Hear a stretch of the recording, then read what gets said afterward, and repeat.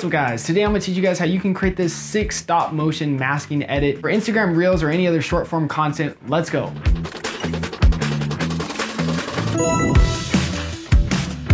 What's up guys, my name is Devin Huynh. Welcome to 11% Tutorials. As I mentioned, today I'm gonna be teaching you guys how you can create this sick masking paper stop motion effect edit or whatever you wanna call it. But real quick, big shout out today to the short form queen, AKA Katie for being the inspiration for today's edit. Katie's the, the absolute goat at making snackable or short form content on Instagram and Reels and her style is really dope, dealing a lot with bright, vibrant colors and stop motion paper effects. So if you don't follow her on Instagram, definitely make sure to go check out her profile. She posts dope stuff there. And Katie, big props to you, dude. Keep it up. But one last thing before we get started, if you're interested in spicing up your edit game, definitely make sure to check out our preset store at 11%.net. There we seriously spill all the sauce. And when I say spill all the sauce, we're, spilling it everywhere. Like I pour my heart and soul out into creating preset packs that will just help speed up your editing workflow and just make your edits look really dope. I made these presets as something I wish I had when I started out editing. So really, if you have like at least 10 seconds in your day to check out the 11%.net store, it mean a lot. And because I love you guys, if you guys use this promo code right here, you can get an exclusive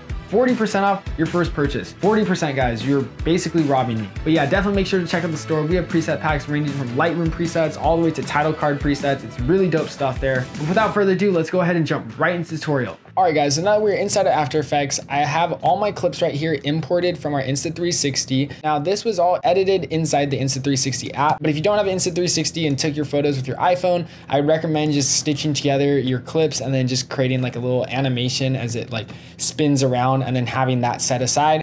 Now right here, I basically just trimmed through and then cut up all the clips to all the good parts. And now what we're gonna do is we're just gonna basically line up all these shoes right now. So quick hotkey, um, if you would like to speed up your editing workflow in After Effects, you can go ahead and hit the bracket key, the left bracket key on all of these clips right here. I think you can just select all of them and then just hit the bracket key and it'll bring all your clips to your playhead. So now that we have all our clips in our playhead, excuse this bottom layer, I'm just gonna turn off the visibility. What we're gonna do is we're basically just going to line up all the clips until they reach with that like that high point, that peak when we throw whatever object it is into the air. So right here, it looks like that's like the peak where the shoe is in the air. So now what I'm gonna do is just one by one, I'm just gonna line it up until it matches with all the other peaks of all the other shoes. So right there, that looks like the high point. That right there, that also looks like the high point. There kind of looks like the high point. There is another high point. And now what we're gonna do is we're just basically going to add some animation to this. So we're just gonna trim down each of these clips until it like makes like a little nice staircase pattern. And we're just gonna do the same on the reverse side of it. So then that way, once you play it out, you have this like flash through effect of all these different shoes or objects or whatever it is you're throwing into the air. You might wanna have to like trim and adjust just so that um, it matches with the effect. And if by any chance there's some offset in the time, like you catch one of your objects too soon, you can always, of course, just hit Command Shift D to split that layer and then you can just drag and adjust it um, to the time spot or the area in the frame that you need that object so that it matches with the other objects. And tada, mess around with it enough until you have like a nice little seamless toss and there we go. Don't worry about this like cuts between your character because we're gonna be zooming in and add some camera effects all later to just cover that up. So don't worry about that. And now once you have this nice little camera shot, we can just go ahead and move on to the next spot. So now right here, this is jump right here, we're going to add some rotoscoping to this.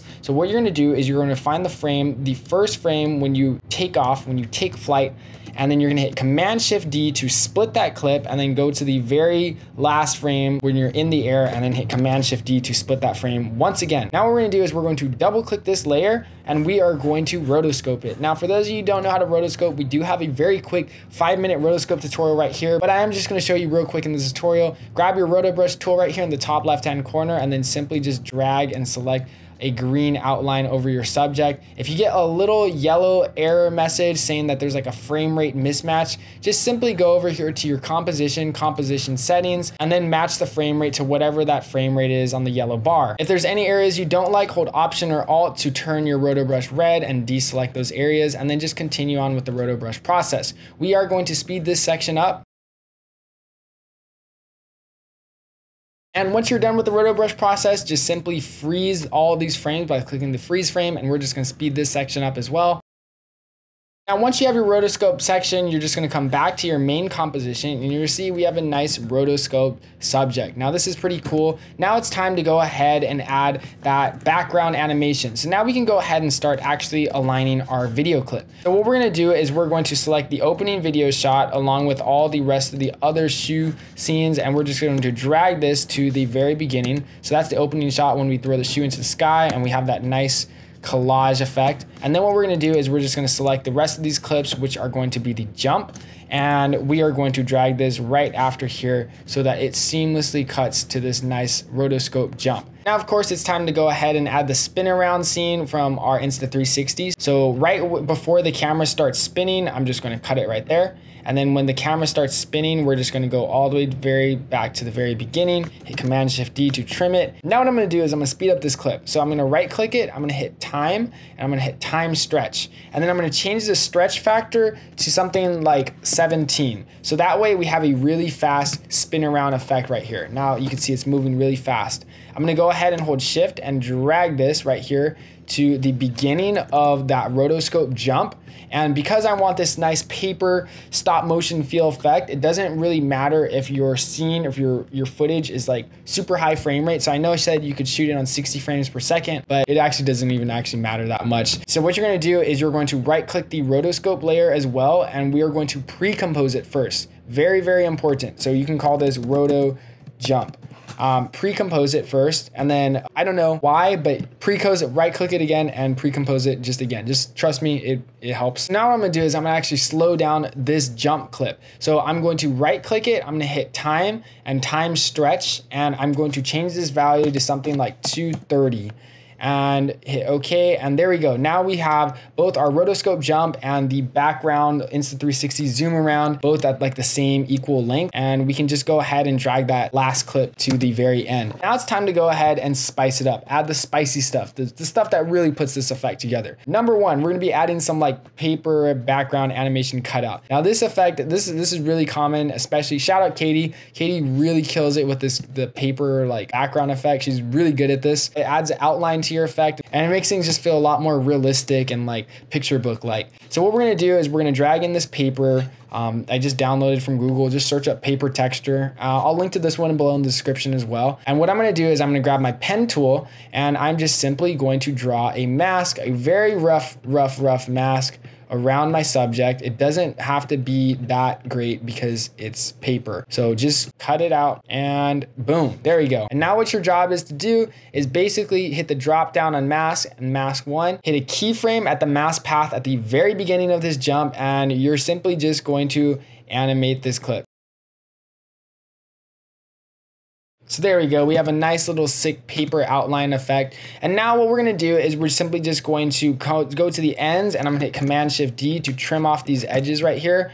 And I'm just going to do the same for the end. And now I'm going to select both the rotoscope layer and the paper effect. And I'm going to right click them and I'm going to hit pre-compose. I'm going to call this paper outline jump. Boom, there we go. Now I'm just going to make sure I trim the edges once again. I just don't like having these edges in After Effects. It, it just really messes up my workflow and gets me confused. So just try to make sure you keep your workspace organized and clean. And now you can see we have this jump and it looks super sick. Uh, we have a nice paper outline effect. Now let's of course go ahead and add some drop shadow. You can't have a paper effect without some drop shadow. So I'm just going to increase the opacity a bit and increase the distance. And then we're going to increase the softness, of course, as well. And there we go. Now we have some nice shadow and it makes it feel a lot more paper-like. And then lastly, the big effect that just totally wraps this thing up is posterized time. We're gonna drag, search and drag posterized time to this outlined effect and we're going to change the frame rate to 12.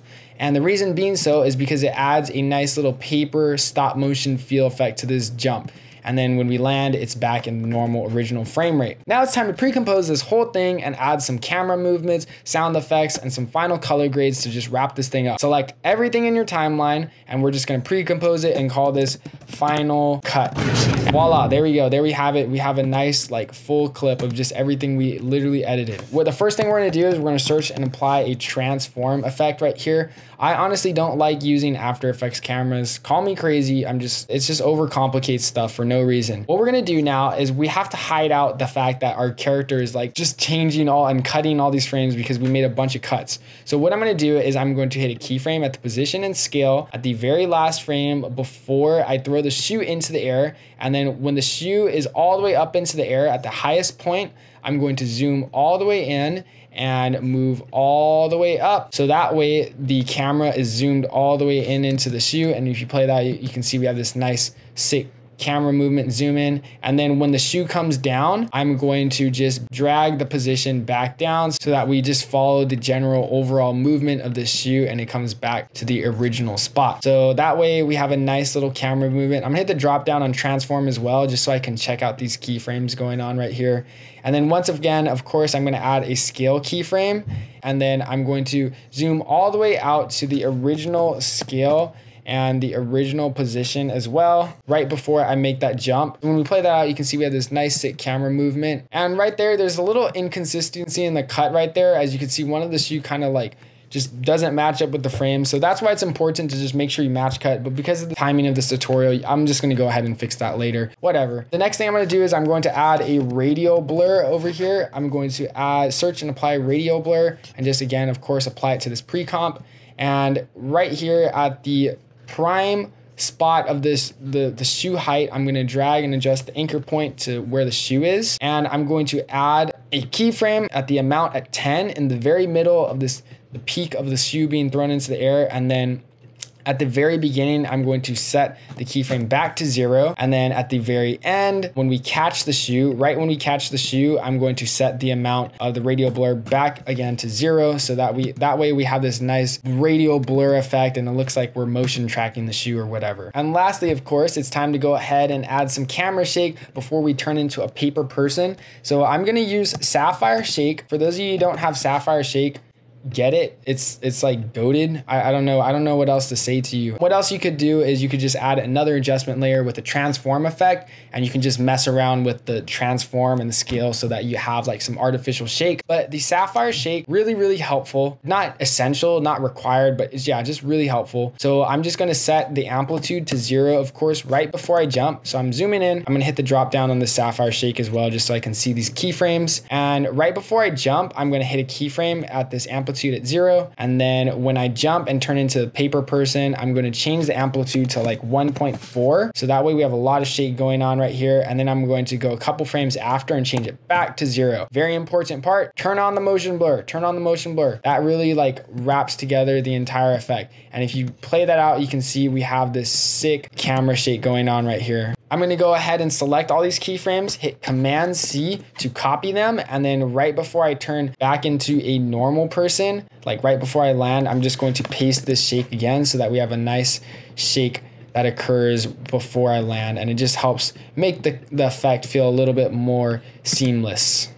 And then of course, I'm going to search and apply for a Lumetri color. This way I can just go ahead and add some shot like light flashes and I don't know, they just overall help make everything feel a lot better and more intense. So I'm just gonna hit the drop down on this Lumetri color, basic color correction, light, and then I'm gonna hit a keyframe and exposure at zero.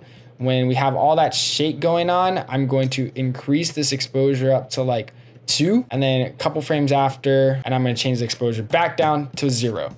And then same, just like we did with the shake, I'm gonna hit Command C by, and select all those keyframes.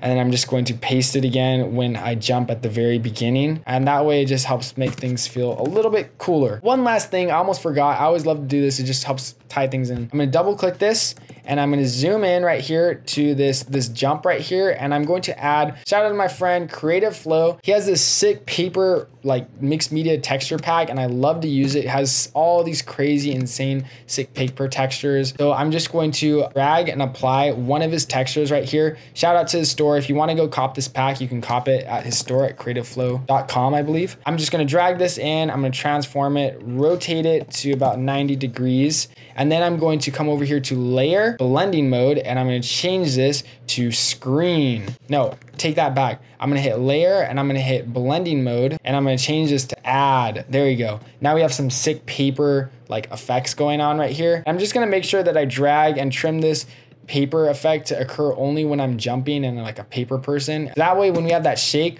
it just turns into this sick paper texture effect and then we land. And with that guys, there is the final result. Of course, I recommend you going in, adding some sound effects to really just spice this thing up. But yeah, shout out to Katie, shout out to Cash Bunny. And with that, here's the final result. If you guys made it to the end of the video, I just want to say thank you again so much for watching. Big shout out to Katie once again. Make sure to go follow her on Instagram at the short form queen. She's posting dope content there all the time. And of course, if you're interested in copying some of our preset packs, remember to use this promo code right here for an exclusive 40% off your first purchase. 40% guys. Oh, and also did I tell you that it expires in five days? Yeah, leave a comment below if you had any questions or concerns throughout the entirety of this tutorial. And lastly, of course, if you're interested in earning with us and making some extra side income through our preset pack store, we do have an affiliate program and you can earn up to 50% of your commission sales. If you're interested, we have more info on our Discord server. All links are in the description below. Once again, thank you guys so much for watching and we'll see you guys in the next video. Peace.